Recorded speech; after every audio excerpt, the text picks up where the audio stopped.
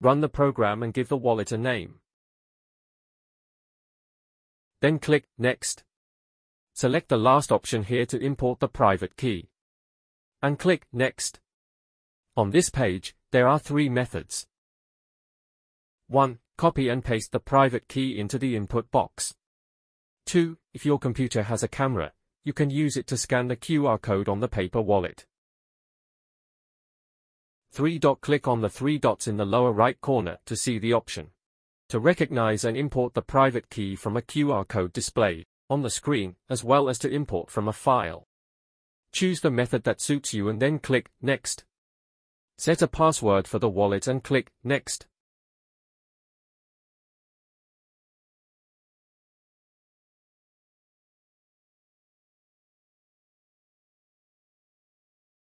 In the Electrum Wallet interface, click View and select Addresses. To see the wallet address corresponding to the imported private key.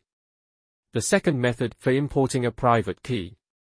From a Bitcoin paper wallet. In the wallet interface, navigate to Wallet, Private Keys, Import. Enter the wallet password.